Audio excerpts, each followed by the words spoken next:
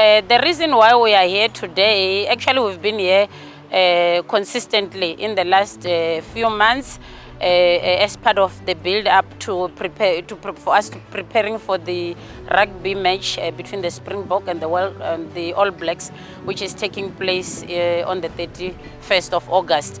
However, uh, the city of Johannesburg, as you know, the inner city uh, uh, has got partners that we work with, and this is one of the precincts where you've got a precinct management, you've got external partners, you've got the city of Johannesburg for sporting facilities, you've got the city. Um, um, the uh, Johannesburg Central College. You also have the University of Johannesburg uh, Engineering and Science Campus. So this has always been a precinct that we ensure that we take care of because of other service delivery and law enforcement challenges that we have to deal with to ensure that all our partners and external uh, partners or, or, other interest group or sporting uh, uh, uh, fans that come here are safe.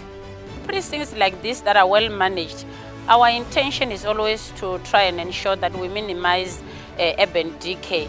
So what we do is to move around this precinct, identify service delivery defects, uh, missing paving, potholes, lights that are not working, trees that are overgrown, and also some elements of uh, maybe if they are criminal elements because they are also pedestrian and this is a quiet street. So what we've been doing is, is to ensure that we, we, we, we, we repair and maintain some of our roads. You can see here now, uh, Johannesburg City Parks and Zoo are looking at the trees. This is an area where you've got this big tree. Some of the roots have overgrown and they're protruding and even causing our, our our, our, you know, the roots and causing our pavement to, to come out. So they're just removing the weeds and also making sure that the paving will be redone. Community development, sport and recreation are responsible for the infrastructure of sport in the city of Johannesburg that is public, you know, ranging from some golf courses, swimming pools, uh, recreation centers, stadia, and so on.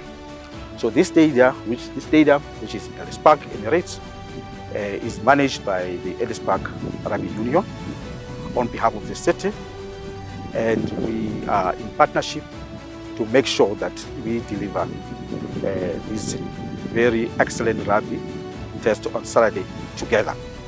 Uh, as community development, it is our responsibility as sport department uh, to make sure that the sporting activities that take place around here are safe, secure, and delivered efficiently.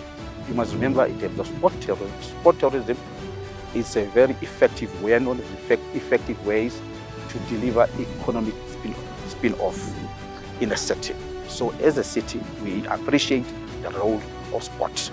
Hence, the city has gone to this extent to make sure that we get as many people to come and watch this game in this environment which is very secure. Yeah, very secure. And people must also remember that we are also having various transport modes so that we this encourage people to come here with their private vehicles. It will cause a lot of congestion. We've got alternatives, such as, for example, the PRASA route, uh, where you take a train from the park station, which will deliver you safely here at the Ellis Park Stadium.